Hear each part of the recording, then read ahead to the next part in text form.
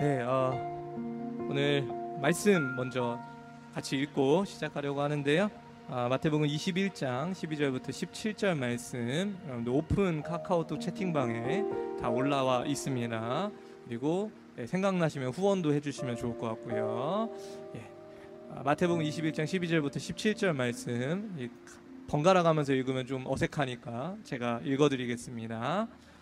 마태복음 21장 12절부터 17절입니다. 여러분 잘 아시는 말씀이에요. 예수께서 성전에 들어가서 성전 안에서 매매하는 모든 사람들을 내쫓으시며 돈 바꾸는 사람들의 상과 비둘기 파는 사람들의 의자를 둘러 엎으시고 그들에게 이르기를 기록된 바 내 집은 기도하는 집이라 이 걸음을 받으리라 하였거늘 너는 강도의 소굴을 만드는도다 하시니라 맹인과 저는 자들이 성전에서 예수께 나아옴에 고쳐 주시니 대제사장들과 서기관들이 예수께서 하시는 이상한 일과 또 성전에서 소리질러 호산나 다윗의 자손이여 하는 어린이들을 보고 노하여 예수께 말하되 그들이 하는 말을 듣느냐? 예수께서 이르시되 그렇다. 어린 아기가 젖먹이들의 입에서 나오는 찬미를 온전하게 하셨나이다 함을 너희가 읽어본 일이 없느냐 하시고 그들을 떠나 성 밖으로 베다니에 가서 거기서 유하시니라. 아멘. 네, 여러분 반갑습니다. 저는 어, Worshipers Movement와 함께 동역하고 또 워스킹 예배를 섬기고 있는 최낙승 목사라고 합니다. 아, 올 한해 어, 정말 당차게 어, 이 땅의 예배 회복과 부흥을 선포하며 시작을 했고 아직도 그 마음이 사그라들지 않고 열심히 하고 있습니다. 아, 오늘 그런 목적을 위해서 제가 성전다움이라는 제목으로 말씀을 준비했는데요. 우리 한 사람 한 사람이 성전 되시기를 주님의 이름으로 축원합니다. 보통 우리가 성전이라고 이야기했을 때에 건물을 많이 이야기하잖아요. 여러분들 어, 많이 이야기하는 것들 중 하나 저는 쓰지 않지만 너무 많이 쓰셔서 어쩔 수 없이 저도 쓰는 그 단어는 바로 성전 건축 이런 단어예요. 저는 사실 그냥 교회 건축이라고 하는데 교회 건물 건축 더 정확하게 이야기하면 그것인데 어, 성전 건축이라고 다들 그러시니까 저도 그냥 성전 건축이라고 이야기할 때가 있습니다. 우리가 성전이라는 이야기를 많이 해요. 여러분들 교회에는 성전이 몇 개 있으세요? 어, 제가 사역하던 교회에서는 예루살렘 성전 있었고 또 뭐 베델 성전 있었고 뭐 성전이 많았어요. 예배실마다 다 성전인데도 있고 아니면 교회 건물 전체가 성전인데도 있고 아니면 아주 조그마한 건물인데 성전이라고 생각하시는 경우도 있습니다. 강대상을 재단이라고도 많이 표현을 하시고요. 물론 영적으로는 사실 다 통용될 수 있는 그 의미가 이미 뭔지 알고 있는 사람들에게는 크게 충돌이 없는 개념인데 사실 예수님 믿지 않는 사람들의 입장에서 보면은 뭐 저게 성전이야라고 생각이 들 수 있을 것 같아요. 저희 교회가 이전하기 전에 카센터 건물 2층 20평짜리 개척교회로 시작했는데 월세 55만 원. 그곳이 성전이라고 부르기가 너무 초라했었어요. 저는 이곳을 성전이라고 부르지 않기로 결정했습니다. 주님께서 그렇게 위대하신데 월세 55만 원 카센터 2층 2층에 어, 저희 교회에 성전으로 임하시진 않을 것 같다라는 생각을 가지고 있었기 때문이죠. 성전이란 사실 우리가 예수 믿는 사람들이 성령을 통해서 우리 안에 정말 하나님께서 임재하시고 우리 가운데 거하신다라는 믿음의 표현이고 우리 한 사람 한 사람이 그런 의미에서 성전이 된 것이지 마치 어떤 건물을 그럴듯하게 지어놓고 예전에 그 예루살렘 성전과 비슷한 형태로 지어놓고 성전이다라고 자꾸 주장하면 우리가 굉장히 비상식적인 사람이 되지 않을까라는 생각을 하게 됩니다. 제가 성전에 대해서 좀 이야기하고 싶어서 예수님께서 성전에 대해서 뭐라 이야기하셨는가 그것을 좀 고민하면서 왔어요. 예수님께서 성전에 대해서 이 말씀을 하셨습니다. 여러분들 잘 아시는 말씀 13절인데요. 아마 외우시기도 할 거예요. 그들에게 이르기를 기록된 바 내 집은 기도하는 집이라 일컬음을 받으리라 하였거늘 너희는 강도의 소굴로 만드는도다 이렇게 말씀하셨어요. 또 이 말씀을 막 마음에 너무 많이 품으시면 어떻게 생각하시냐면 그래 교회는 기도만 하는 곳이구나. 기도하는 집이라고 하셨으니까. 만민이 기도해야 되니까 선교도 하는구나. 뭐 이런 식으로 조금 문자적으로 생각하실 수가 있는데 사실 예수님께서 이사야의 말씀, 이사야 56장 7절의 말씀을 인용하신 것이지 그 인용을 통해서 성전이 원래 어떤 곳이다라는 것을 말씀하신 것이지 이 문자 그대로 성전은 기도만 하는 곳이야라고 이야기하신 건 아닌 것 같다라는 생각을 하고 있어요. 여기서 이 말씀도 보면요. 기도하는 집과 강도의 소굴이 이렇게 대치돼서 나오고 있습니다. 기도하는 집과 강도의 소굴이 서로 반대되는 개념이에요. 성전은 기도하는 집이 돼야 되는데 너희가 강도의 소굴을 만들었다. 그러면 강도의 소굴이 상징하는 바가 있을 것이고 기도하는 집이 상징하는 바가 있을 것입니다. 강도의 소굴이 상징하는 바는 뭡니까? 당시에 장사하던 사람들 자기 사리 사욕을 채우기 위해서 그런 장사들을 했기 때문에 예수님이 상을 막 다 뒤 엎으셨잖아요. 강도의 소굴이 바로 그런 것입니다. 너희가 하나님의 성전을 너희의 욕심을 채우기 위해서 차지하고 그 가운데서 바글바글 하고 있다고 이 성전이 제대로 기능을 하고 있는 것이 아니라 너희가 정말 하나님 앞에 마음을 쏟고 하나님의 거룩한 모습을 사모하며 하나님의 얼굴을 하나님의 축복을 하나님의 은혜를 갈망하는 심정으로 나아가야 그곳이 성전다워지는 곳이다 이 얘기를 하고 싶으셨던 것이죠. 그리고 예수님께서 어떤 모습을 보여주시냐면 저는 사실 그 뒤가 더 중요하다고 생각하는데 성전이 성전다워지는 모습을 보여주십니다. 예수님께서 그냥 가셔서 다 엎으시기만 한 게 아니라 원래 성전이 이래야 돼 라는 그 모습을 보여주시는 거예요. 어떤 모습을 보여주시냐면 저희가 다 읽진 않겠지만 예수님께서 이 말씀을 하실 때에 많은 사람들이 듣습니다. 그리고 예수님께서 고쳐주세요. 고쳐주실 때 많은 사람들이 고침을 받습니다. 그리고 우리가 이 글을 통해서 알 수 있는 것처럼 고침받은 사람들이 예수님을 찬양하기 시작합니다. 호산나 다윗의 자손이요. 호산나 다윗의 자손이요 찬양하기 시작하니까 하나님께서 그곳 가운데 또 은혜를 주시고 그들이 또 하나님을 찬양하고 반응하고 말씀에도 귀 기울이고 예수님을 따르려고 하고 이 모든 모습을 종합해 보면 저는 이 말을 예배의 모습이다라고 표현하고 싶어요. 성전다움이란 무엇이냐? 성전다워지는 것은 무엇이냐? 우리가 한 사람 한 사람이 성전답게 회복되는 건 무엇이냐라고 했을 때에 우리가 한 사람 한 사람이 예배자가 되는 것 주님 말씀을 듣고 주님의 능력을 경험하고 주님의 임재를 경험하고 주님의 거룩한 뜻을 향해 나아갈 수 있는 그러한 모습이다라고 이해를 하셨으면 좋겠습니다. 예전에 건물 성전들 너무 좋은 성전들 많았죠. 예루살렘에는 아직도 예, 모스크가 있고 어, 그 예전에는 솔로몬 성전도 있었고 스룹바벨 성전도 있었고 헤롯 성전도 있었습니다.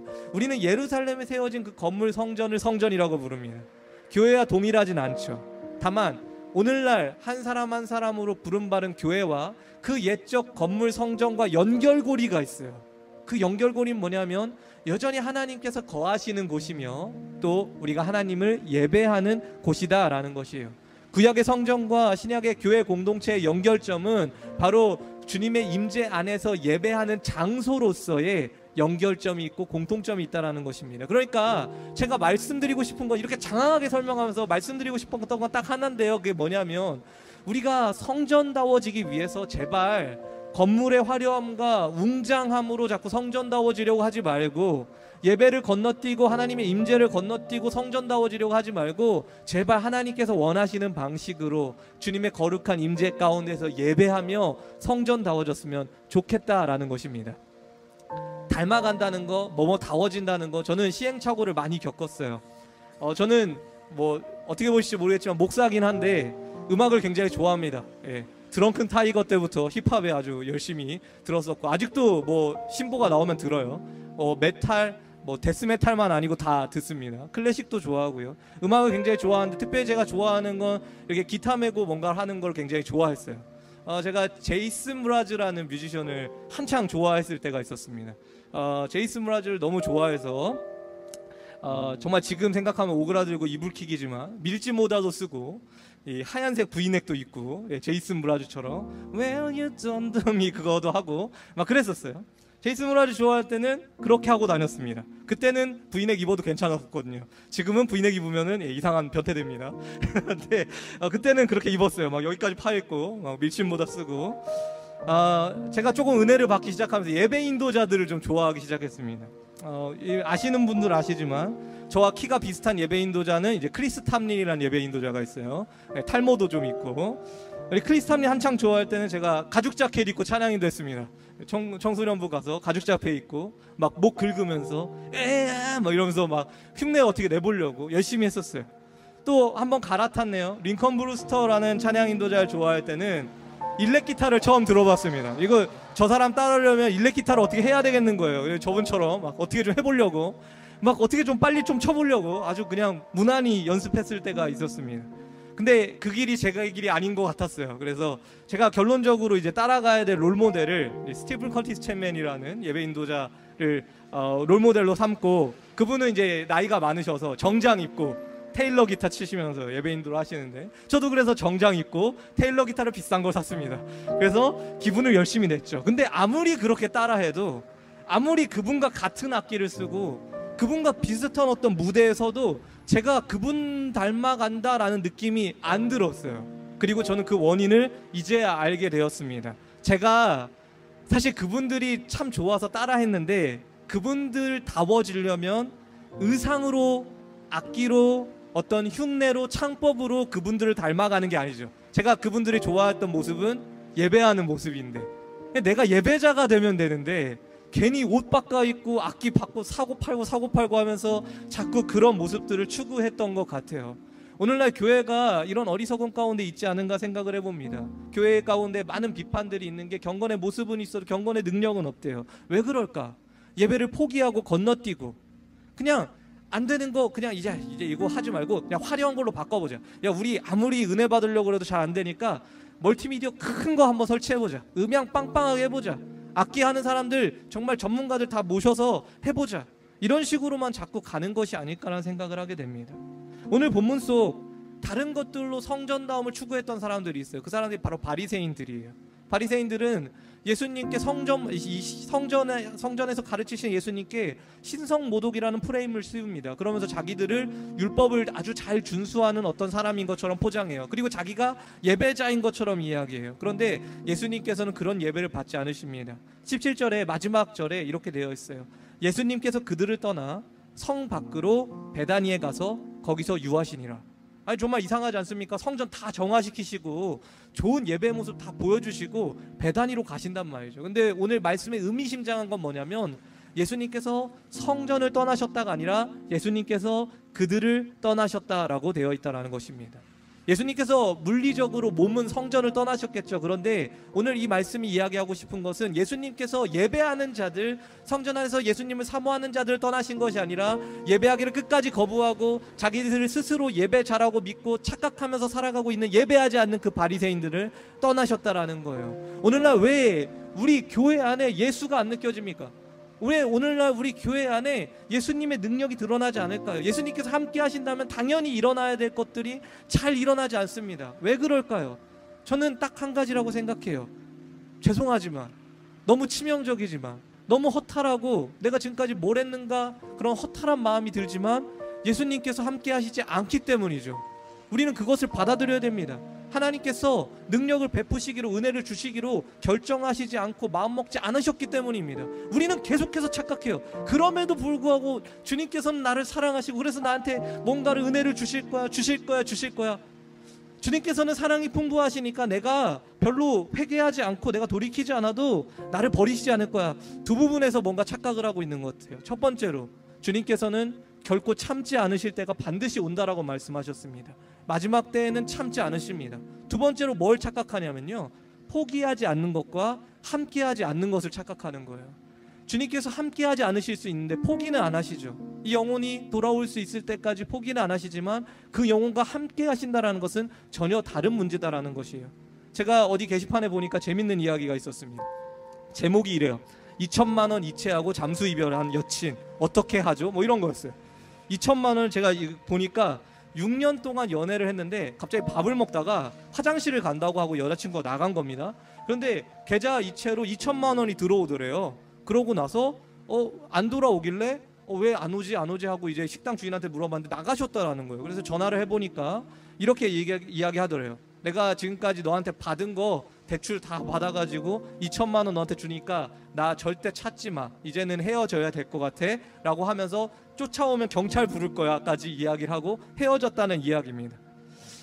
이야기가 그래요. 그 안에 스토리가 6년을 만났는데 2년 동안 만나다가 헤어졌대요. 2년 동안 만나다가 여자가 헤어지자고 했는데 남자가 계속해서 계속해서 설득해가지고 겨우겨우 그 연인이라는 형태만 유지하면서 4년을 버틴 겁니다. 근데 여자친구 입장에서는 이제 더 이상 함께 할 수가 없는 거예요. 그래서 2천만 원을 주고 잠수 이별을 했다. 이 이야기인데 저는 이거 보면서 와, 그렇구나. 이 4년의 기간이 바로 함께 하지 않는 기간이었구나.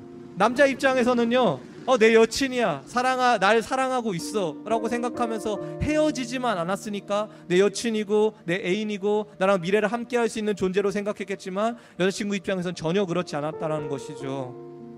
그분이 나와 정말 함께 하신다고 우리가 믿는다고 그렇게 굳건히 생각한다고 해서 그분의 동행하시는 삶이 드러나는 것인가 그것은 좀 다른 문제다라고 우리가 이야기하고 싶어요. 우리 가운데 그렇게 내가 믿는데 여전히 변화가 안 일어나고 은혜가 안 일어나고 아무것도 없다면 우리는 뭔가 잘못됐다라는 인식이 있어야 됩니다. 예배 회복, 나의 회개를 건너뛰고 나는 성전다워, 나는 예배자야, 나는 이런 데 있으니까 나는 그럴듯하게 예배할 수 있어 라고 생각하고 있는 것 아닌지 다시 한번 생각해 봤으면 좋겠습니다.